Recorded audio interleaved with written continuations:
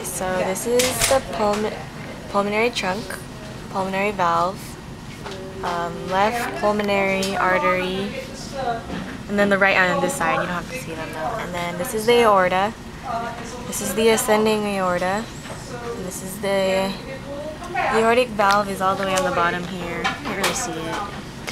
Um, this, this is the brachiocephalic trunk, the left carotid artery, and the um, brachiocephalic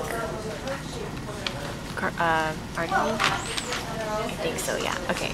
So this is the superior vena cava, and the inferior is on the bottom here. There's a hole right here. Um, this is, oh, and then also in here is the left atrium, and this is the left ventricle. Right atrium, right ventricle. Um, this is the tricuspid, um, bicuspid.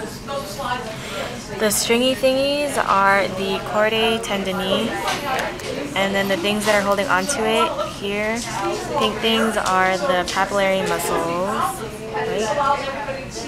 Is that what they're called, the papillary muscles? Uh, okay, and then this is the interventricular septum. Um, what else do we need to know? I think that's it. Oh, and these are supposed to be the um, pulmonary veins. These four, the left and the right. They're just Okay, and done.